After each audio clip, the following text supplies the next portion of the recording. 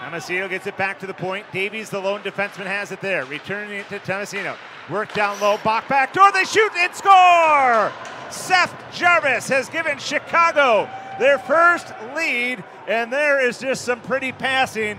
Off of Michael Hakkarainen, that's fought down by Helvig, and the Wolves' right wing side will counter. They center it up in front of Tompkins and poke it home. They score. Seth Jarvis is going to pick up goal number two on the year as Tompkins gets it off the right leg pad.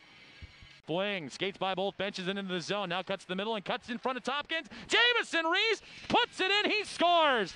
The other 19 year olds on this Wolves lineup. Suzuki brings it in. Wolves setting up on the power play. Up top. Keane flushes it free. Cutting in. Jarvis shoots. He scores! Seth Jarvis is having success.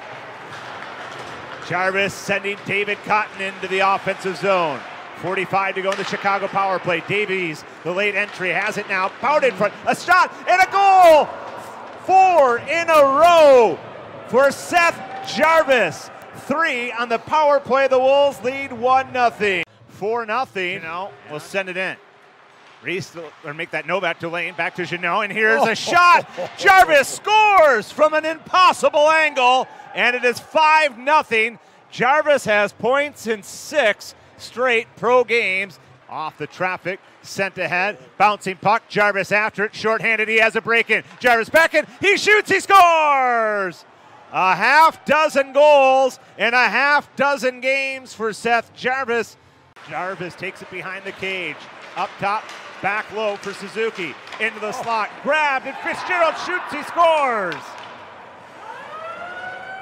Actually, I think that is Healy develop offensive plays and control the puck in the offensive zone, and they've done that in this one by far. Suzuki has it. Davies cutting in. Backdoor. Oh, what a stop. Rebound. They score.